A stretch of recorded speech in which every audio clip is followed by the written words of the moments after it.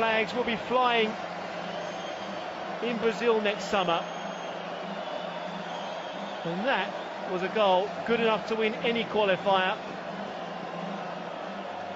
Good enough to take any team to the World Cup finals. A brilliant, sweet, sweet strike from Granit Xhaka.